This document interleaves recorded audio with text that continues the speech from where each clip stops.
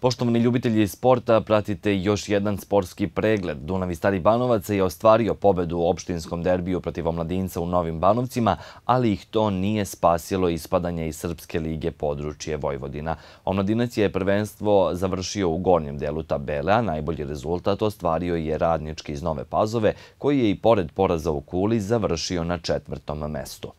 Bilo je to pirova pobjeda futbolera Dunava koja je donela veliku tugu i kod igrača i kod navijača tima iz starih Banovaca. Pobjeda koja im nije obezbedila opstanak pošto je Bačka 1901 i Subotice bolja u međusobnom skoru i to je presudilo da ostanu oni u ligi. Bez obzira što su pobedili sa 3-2, to im nije bilo dovoljno. Ostali smo u vrhu i ove zadnje dve godine smo pokazali da smo tu izrasli jednog stabilnog ovog vojvođanskog, vojvođanskog ligaša i Imali smo problema u toj prolećnoj sezoni, neverovatnim nekim sticajem okolnosti takvih nekih povreda. Nadam se da se to neće dešavati u narednom periodu, ali sve ukupno mogu da budem, ako pogledam i prvi i drugi deo, mogu da budem zadovoljan. Pasirali smo tu, mislim da smo šesti na tabeli ili sedmi, ne znam tačno, ali e, zadovoljan sam i ljudi u klubu zadovoljni. Uspeli smo da isforciramo jednu grupu mladih igrača, dobiju šanse da se obrati pažnja i te igrače koji igraju u našim omladincima, kadetima, da pokažemo da se i na njih računa. Naravno, zavisi, zavisi će od njihovog kvaliteta, da li će moći da budu u sastavu tima za sledeću sezonu, znači sve na njima, uspeli smo da ih ispratimo, da im damo šansu i vidjet ćemo kako će raditi u narednim priprema, da li će da se nametnu za ekipu kadara 20 igrača. Dve godine ste u Omladincu, Iza vas e, su dve veoma uspešne sezone i kad su rezultati u pitanju i afirmacija velikog broja mladih igrača, neki od njih su završili u Super ligi. E, recite nam kakvi su vaši planovi? Pa moji planovi su vezani za završetak školovanja za UEFA Pro licencu i jednostavno nekog čekanja, neke šanse da dobijem u nekom klubu u Super ligi. Nadam se da će to biti u nekom narednom periodu, sigurno da neću nešto da jurim i da tražim Mm, prebrzo, znači imam strepljenje da sačekam neku pravu šansu u pravom klubu gde mogu da iskažem sebe kao trenera da bi napravio dobar rezultat. Znači neću po svaku cenu da prihvatam neke ponude, pa makar ostao i sledeću sezonu u trećoj ligi. Jednostavno nije me sramota da radim u trećoj ligi. Ovo je jedno izuzetno kvalitetno takmičenje.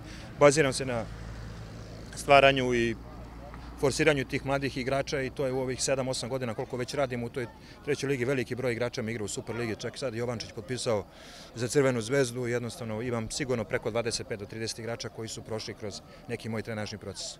Znači, ako se ništa ne, e, drugo ne desi, opet iz početka sa mladim, neafirmisanim igračima, ali veoma talentovanim u omladincu. Pa sigurno sa mladim nekim neafirmisanim iz rada koji će doći sigurno 3-4 igrača iz rada 99. godište, ali e, već sam u nekim pregovorima sa 4-5 izuzetno kvalitetnih igrača i ako uspemo to da dovedemo, sigurno ćemo imati jednu izuzetno jaku ekipu u narednoj sezoni. Mi smo današnju utakmicu onako malo više želeli i više smo osluškivali šta se dešava u Subotici, tako da jednostavno možda ova utakmica nije bila nešto generalno lepa, palo je pet golova, ali u svakom slučaju smo više razmišljali šta se tamo dešava nego kod nas na terenu. E, šta bih hteo da kažem, to da zahvaljujem se stvarno domaćinu na fair i korektnoj igri, bio onako pravi derbi, bilo je publike, tako da jednostavno šta, šta će se dalje dešavati i šta, šta će biti, ja ne mogu da kažem, to moraju neki drugi ljudi, ali u svakom slučaju ovaj, sve je proteklo onako kako treba, ali neka viša sila sigurno je dovela do svega ovoga.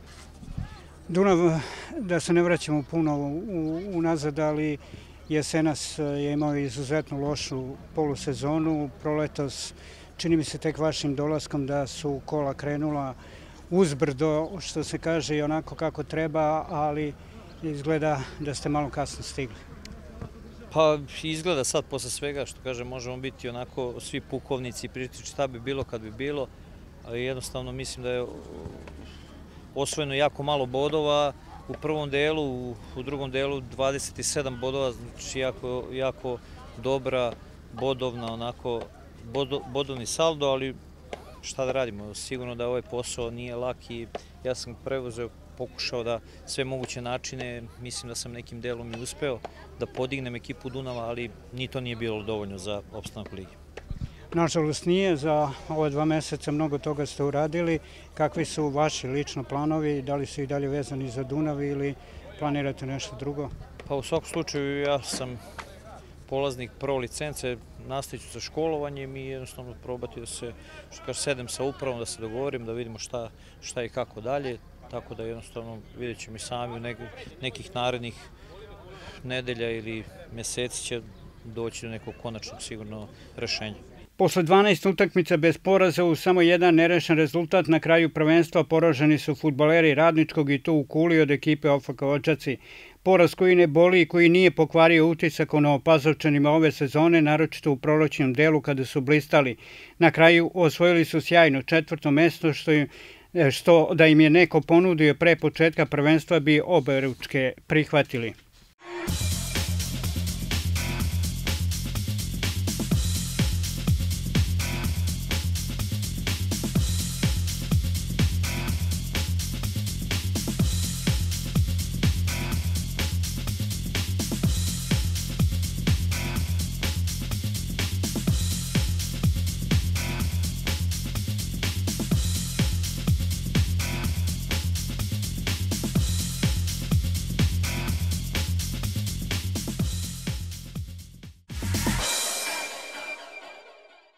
U 30. kolu Vojvođanske lige Grupa Jug jedinstvo je poraženo od Hajduka u Čurugu. Podunavac je u Belegišu pobedio Hajduk iz Beške, a Sremac iz Vojke je doživeo veliku tugu jer remi protiv borca u Šajkašu nije bio dovoljan da se ostane u ligi, pa idu stepenik niže.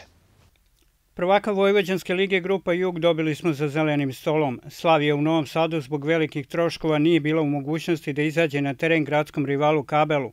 Obavestilo je o tome organe Futbolskog saveza Vojvodine i do meča nije došlo.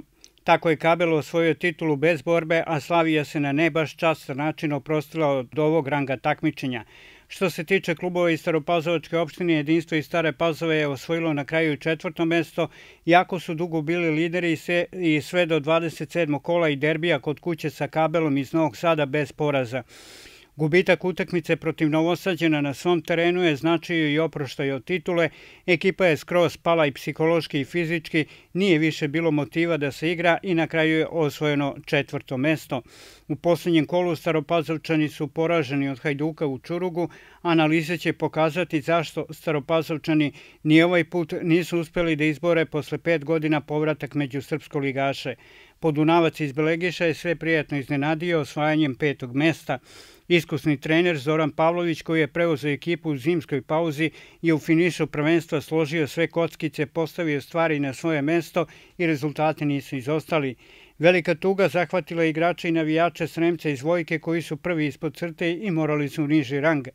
Izgledalo je dugo da Vojčani nisu ugroženi i da će izboriti opstanak, ali igre toplo-hladno na kraju su im se osvetile. Bod osvojen u Šajkašu protiv borca u poslednjem kolu nije bio dovoljan da se ostane u ligi jer su imali najslabiji skor u krugu koji su napravili sa Jugovićem iz Kaća i Hajdukom iz Beške, sve tri ekipe po 38 bodova. Sremac je platio ceh i ispadanju Dunava iz Srpske lige, pa su im oni napravili mesto. Pored Sremca u niže rang su se preselili i Lski Zlačarka, Kupinovo, Slavija i Indeks iz Novog Sada.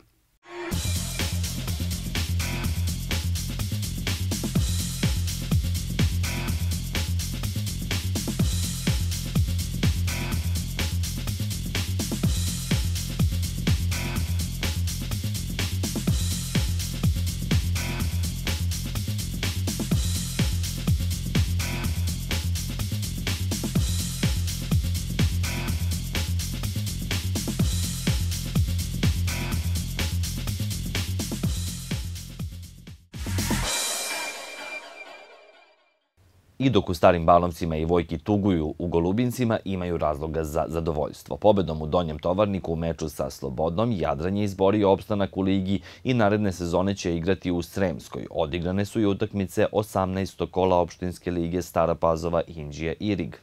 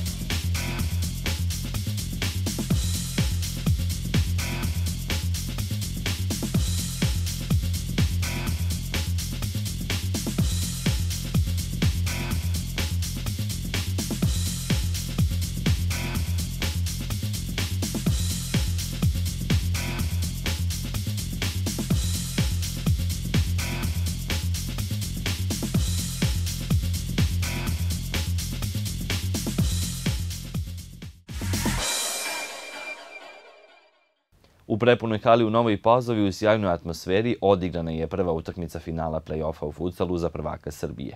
Ekonomac iz Kragujevca koji brani titulu savladao je Novu Pazovu i načinio veliki korak ka desetom šampionskom slavlju. Odluka o prvaku pašće u drugoj utakmici u petak u Kragujevcu.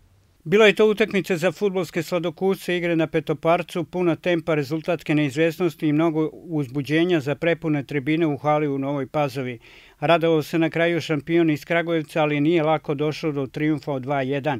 Vodio je ekonomac 2-0, izgledalo je da će rutinski privesti meč kraju, ali se domaćini nisu predavali.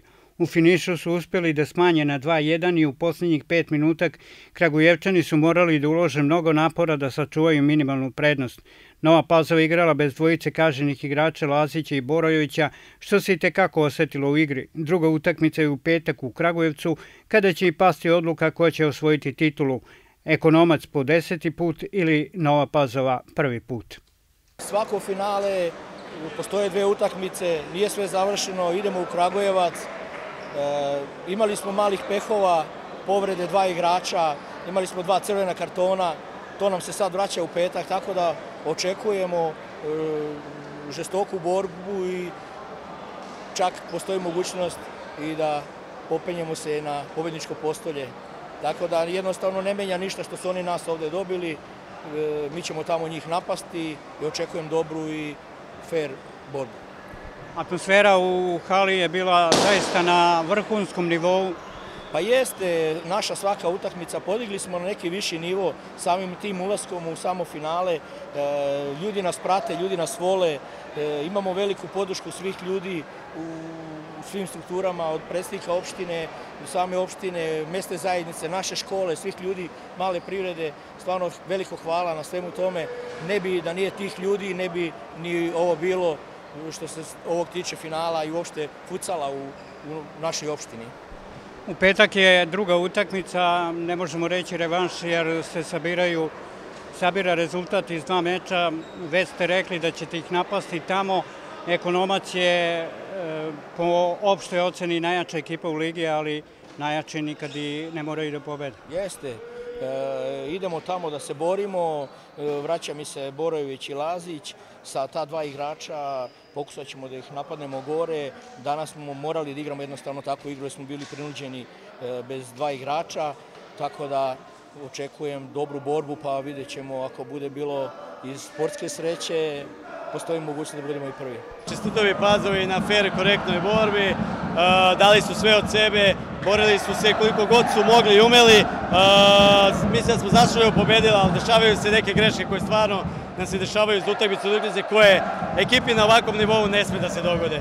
Tako da ovaj, stvarno još jednom čestitam ovoj divnoj publici, igračima Pazove koji su stvarno dali svoj maksimum i možda i preko maksimuma i dokazali su s pravom da su se kodomce vodeća ekipa u ovom prvenstvu. Koliko je vaša ekipa umorna posle izuzetno naporne sezone i borbe na tri fronta?